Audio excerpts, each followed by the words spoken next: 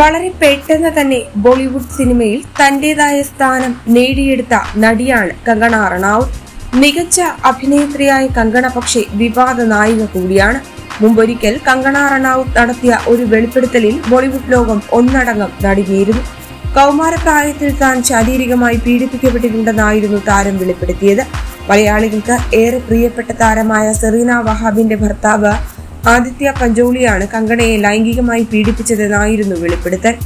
ഒരു ചാനൽ പരിപാടിക്കിടയിലാണ് താരം ഇക്കാര്യം വ്യക്തമാക്കിയത്. ആ സംഭവത്തിന് ശേഷം സഹായം അഭ്യർത്ഥിച്ച് താൻ സെറീന വഹാബിനെ സമീപിച്ചിരുന്നുവെന്നും എന്നാൽ അവർ തന്നെ കൈയൊഴിയുകയായിരുന്നുവെന്നാണ് കങ്കണ പറഞ്ഞത്. ഒരു കാലത്ത് മലയാള സിനിമയിൽ തിളങ്ങി നിന്നിരുന്ന താരമായിരുന്നു സെറീന വഹാബ്. അതേസമയം കങ്കണ വിവാദത്തിൽ തന്റെ നിലപാട് വ്യക്തമാക്കി സെറീന വഹാബ് രംഗത്തെത്തിയിരുന്നു. കങ്കണയുടെ വെളിപ്പെടുത്തലിന് പിന്നാലെ സെറീന വഹാബിന്റെ പ്രതികരണം അറിയുന്നതിന് വേണ്ടിയായിരുന്നു പ്രേക്ഷകർ കാത്തിരുന്നത്. താരം ഉന്നയിച്ചിട്ടുള്ള ആരോപണം അടിസ്ഥാനരഹിതമാണെന്നാണ് സെറീന പറയുന്നത്. നാലര വർഷമായി കങ്കണ തന്റെ ഭർത്താവായ ആദിത്യ പഞ്ചോളിക്കൊപ്പം കഴിയുകയായിരുന്നു. പീഡന വാർത്ത തെറ്റാണെന്നും സെറീന പറഞ്ഞു. നാലര വർഷമായി ഭർത്താവിനൊപ്പം കഴിയുന്ന കങ്കണയെ താൻ എങ്ങനെയാണ് മകളായി കാണുന്നതെന്നും അവർ ചോദിക്കുന്നു. അസാധ്യമായ കാര്യമാണത്.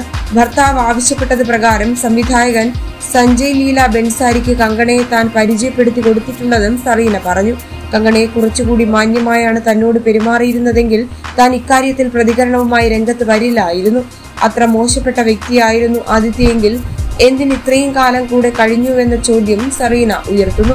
അതേസമയം സെറീന വഹാബിന്റെ പ്രതികരണത്തെക്കുറിച്ച് കങ്കണ ഒന്നും പറഞ്ഞില്ല. എന്നാൽ കങ്കണയുടെ സഹോദരി രംഗോളി താരത്തിനെതിരെ രംഗത്ത് വന്നു. കങ്കണയും ആദിത്യ പഞ്ചോളിയും തമ്മിൽ പരിചയത്തിലാകുന്നത് രണ്ടായിരത്തി അഞ്ചിലാണ്. രണ്ടായിരത്തി ഏഴിൽ അവർ അദ്ദേഹത്തിനെതിരെ പരാതി നൽകിയിരുന്നു. പിന്നെ എങ്ങനെ നാലര വർഷം കൂടെ കഴിഞ്ഞുവെന്ന് പറയുമെന്നാണ് കങ്കണയുടെ സഹോദരി ചോദിച്ചത്. എന്റർടൈൻമെന്റ് മലയാളം.